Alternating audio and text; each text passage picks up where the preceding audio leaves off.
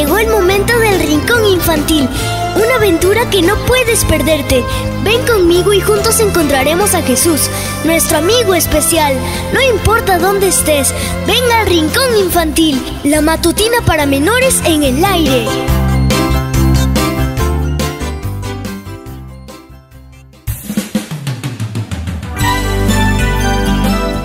A todo puedo hacerle frente, gracias a Cristo que me fortalece. Filipenses 4:13.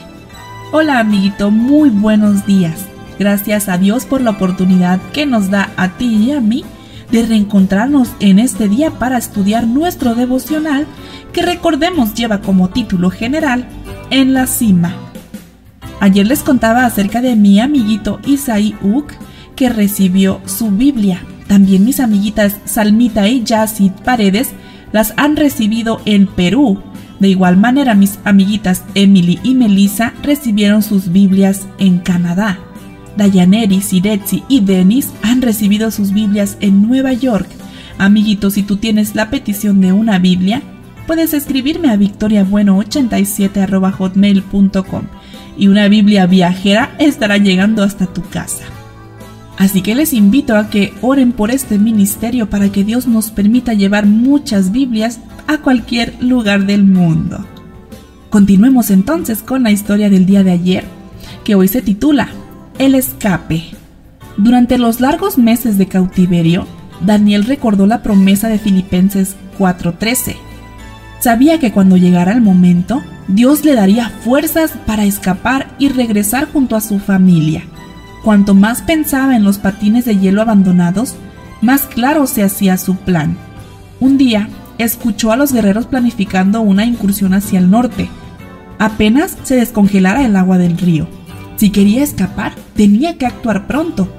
Durante una semana salió todos los días del campamento sin que nadie lo viera e iba guardando comida en una mochila de piel que había escondido río arriba. Una mañana en la que sus captores no estaban vigilando, Daniel se ajustó un par de patines y desapareció. Cuando los guerreros se dieron cuenta, ya estaba demasiado lejos del alcance de sus flechas. Furiosos y humillados, se pusieron los patines para tratar de alcanzarlo, solo para tambalearse y caerse ridículamente sobre el hielo.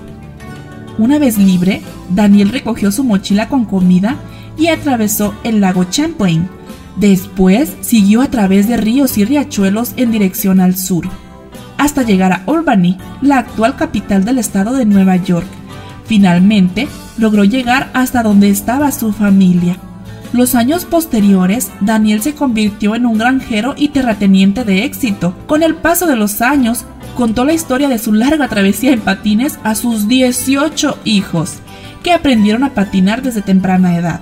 También les enseñó el consejo bíblico que su padre le había indicado a él, las palabras que le habían ayudado a decidir lo que debía hacer. Astutos como serpientes, aunque también sencillos como palomas. Mateo 10:16. Busca un mapa de Norteamérica y traza el valiente recorrido que hizo Daniel, desde el río San Lorenzo en Canadá hasta Albany en el noroeste de Estados Unidos, y de allí hasta Concord, en el estado de New Hampshire.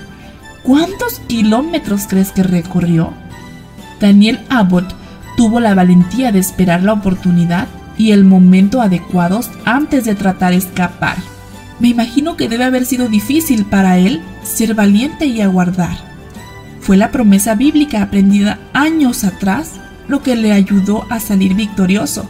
Dios también tiene soluciones a tus problemas, solo tienes que esperar pacientemente. Qué gran lección nos ha traído el día de hoy Daniel Abbott. Una lección de paciencia. A veces pensamos que Cristo no va a regresar por nosotros, pero es la promesa que nuestro Padre nos ha dado. Y al igual que Daniel, esperemos pacientemente en Cristo Jesús y Él contestará nuestras oraciones y regresará muy pronto por nosotros. Yo te espero el día de mañana para que continuemos el estudio de nuestro matinal. Dios te bendiga.